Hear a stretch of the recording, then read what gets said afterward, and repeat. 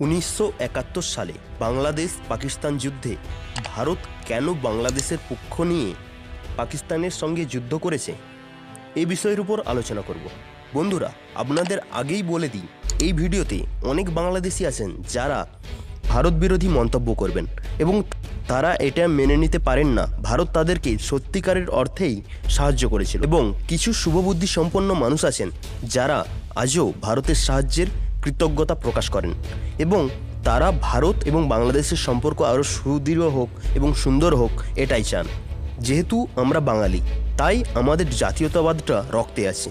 রাজনৈতিক কারণে আমরা দুটি দেশে পরিণত হলেও যে যার দেশের প্রতি ভালোবাসা এবং ভাষার প্রতি ভালোবাসা যথেষ্ট আছে। প্রতিবেশী দেশের শুভবুদ্ধি সম্পন্ন মানুষদের প্রতি আমার ভালোবাসা এবং শ্রদ্ধা রইল। চলুন বন্ধুরা, তাহলে ভিডিওটি শুরু করা যাক। ভৌগোলিক অবস্থানগতভাবে বাংলাদেশ একবারে ভারতের ভিতরে ঢুকে আসে বাংলাদেশ অংশটি ভারত থেকে আলাদা হতো না, কারণ বাংলাদেশ এবং ভারতের সাংস্কৃতিক বৈচিত্র্য প্রায় একই রকম। কিন্তু ভারতের বঙ্গপ্রদেশের পূর্ববঙ্গে ধর্মীয় দাঙ্গা এমন পর্যায়ে পৌঁছে গিয়েছিল যে তখন রেড ক্লিপ তড়িঘড়ি করে পাকিস্তানের সাথে পূর্ববঙ্গকে জুড়ে দেয়। তখন সীমান্ত যেমন তেমন করে এঁকেছিলেন রেড ক্লিপ বাংলাদেশ ও ভারতের মধ্যে বাস্তব কোনো সীমারেখার সত্যিকার অর্থে ছিলই না।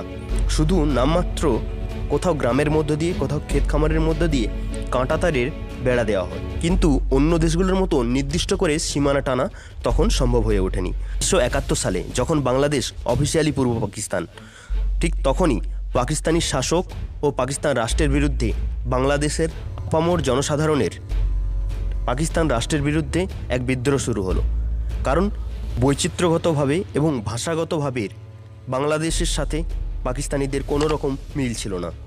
তাই বাংলাদেশের আপামোর জনসাধারণ একটি স্বাধীন রাষ্ট্রের জন্য সংগ্রাম শুরু করল। তখন পাকিস্তানি সেনাদের অত্যাচারে বাংলাদেশ থেকে বহু মানুষ, প্রায় এক থেকে দেড় কোটি, হয়তো তার থেকেও বেশি, বাংলাদেশি ভারতে আশ্রয় নেয়। ভারত তখন দিশেহারা। বাংলাদেশিদের তখন অবস্থা বর্তমান রোহিঙ্গাদের মতো। ভারত তখন গরিব দেশ। নিজের মানুষদের খাওয়ানোর মতো অবস্থায় নেই। তার উপরে পাশের দেশ থেকে এক থেকে দেড় কোটি মানুষ এসে উপস্থিত। এদিকে আওয়ামী লীগের নেতাকর্মীরা ভারতের কাছে, অর্থাৎ ইন্দিরা গান্ধীর কাছে অনুরোধ করেন যাতে ভারত বাংলাদেশকে পাকিস্তানের কবল থেকে মুক্ত করতে সব রকম সহায়তা করেন। এতে ভারতেরও লাভ।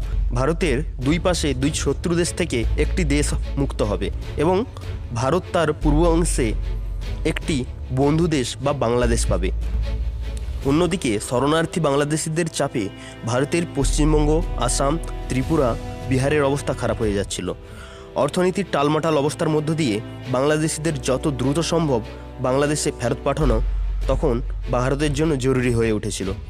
কতদিন বাংলাদেশিদের চাপ ভারতের দুর্বল অর্থনীতি বয়ে যাবে, এই চিন্তা ইন্দিরা গান্ধীকে অস্থির করে তুলেছিল।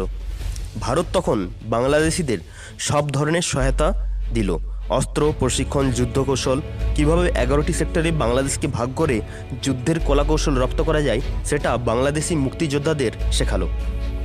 বাংলাদেশি গেরিলা মুক্তিযোদ্ধা ও ভারতীয় সেনাবাহিনী এক হয়ে মুক্তিযুদ্ধ করে পাকিস্তানের কবল থেকে বাংলাদেশ স্বাধীন করল। প্রায় নব্বই হাজার পাকিস্তানি সেনাদেরকে বন্দি করা হয়েছিল এবং বাংলাদেশ নামের একটি নতুন রাষ্ট্রের সৃষ্টি হয়েছিল। ধন্যবাদ বন্ধুরা সাথে থাকার জন্য। যদি ভিডিওটি ভালো লাগে, অবশ্যই কমেন্ট করুন শেয়ার করুন এবং চ্যানেলটিকে সাবস্ক্রাইব করুন।